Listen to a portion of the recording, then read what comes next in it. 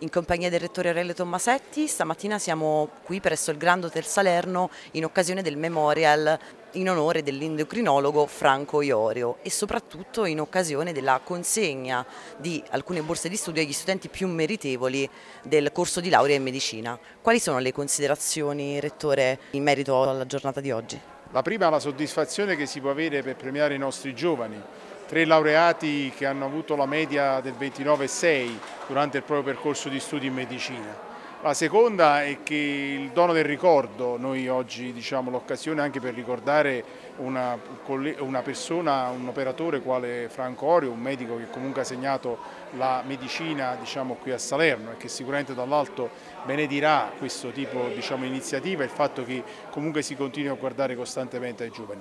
Credo che occasioni come queste servano appunto per rinsaldare anche il rapporto tra l'università, il territorio, l'ospedale, capire che tutti dobbiamo remare nella stessa direzione. Noi come università abbiamo fatto la nostra parte con tanti successi che abbiamo avuto in questi anni come facoltà di medicina, impreziositi quest'anno dall'arricchimento anche con la facoltà di odontoiatria.